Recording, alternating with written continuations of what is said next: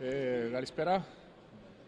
Ε, χρειαζόμασταν αυτή την νίκη όσο πολύ. Ε, δεν θυμάμαι, υπάρχει τώρα ένας μήνας να κερδίσουμε και ουσιαστικά σήμερα παίζαμε όλη τη χρονιά. Ε, ξέραμε ότι θα, θα έρθει και αυτή να παίξει όλη τη χρονιά σε αυτό το παιχνίδι και πάντα λένε ότι τα πρώτα παιχνίδια στα playoff είναι και τα πιο σημαντικά. Όμως αυτό δεν σημαίνει ότι το δεύτερο παιχνίδι ε, θα είναι εύκολο. Ε, προσπαθήσαμε να κρατήσουμε το, να, το πλάνο του προπονητή.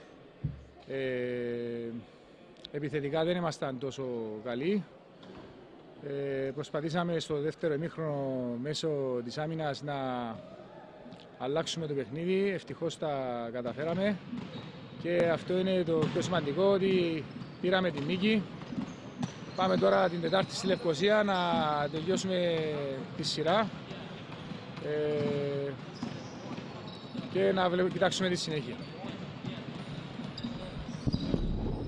Λοιπόν, ε, καταρχήν ε, να δώσω συγχαρητήρια στην ομάδα μου.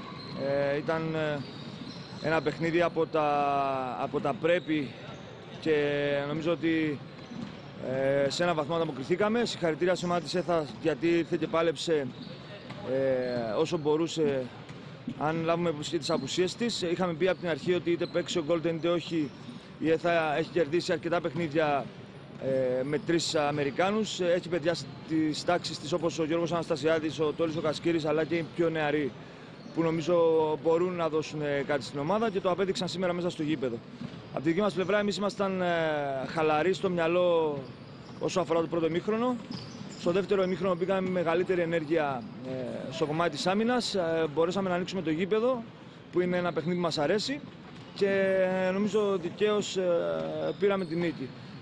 αυτό δεν σημαίνει τίποτα. Έχουμε τελειώσει το πρώτο ημίχρονο και ετοιμαζόμαστε από αύριο για το δεύτερο ημίχρονο την Τετάρτη στη Λευκοσία. Είμαστε σίγουροι ότι η ΕΘΑ θα εμφανιστεί το ίδιο σκληρή, αν όχι περισσότερο. Άρα εμείς πρέπει να είμαστε διπλά συγκεντρωμένοι παίζοντας εκτός έδρας για να μπορέσουμε ε, να τελειώσουμε τη σειρά και να δούμε τα επόμενα παιχνίδια. Ευχαριστώ. Εντάξει, πρώτα απ' όλα συγχαρητήρια στην ομάδα Απόλλωνα για την, για την νίκη του. Εμάς ε, βάλαμε, καταβάλαμε μεγάλη προσπάθεια να, να κερδίσουμε σήμερα τον αγώνα, αλλά φάνηκε ότι ε, φάνηκε η απουσία του τον Golden. Ε, εντάξει, είναι διαφορετικό να παίζεις με πέντε ξένους και άλλη ομάδα με, ε, με τρεις. Ε, έπεσε ο κλείος στους Κύπρους κοσφαιριστές να, να καταβάλουν την προσπάθειά τους.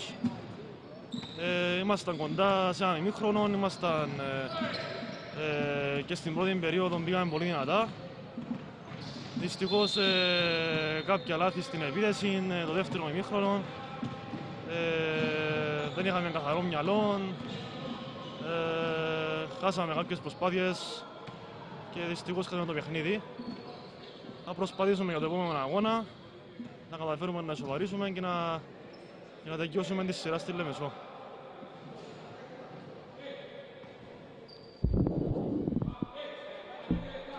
Με τη σειρά μου θέλω και εγώ να ε, συγχαίρω την ομάδα του Απόλλωνα. Μετά από ένα σημείο έπαιξαν πολύ φοβερό μπάσκετ.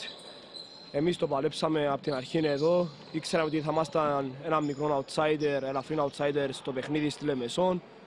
Παλέψαμε με διάφορους τρόπους, αλλά φάνηκε η απουσία του Τρέι και του Χέρι όμως. Είναι δύο θέσεις ευάλωτες για τον μπάσκετ και αυτά δείξαν και στο γήπεδο.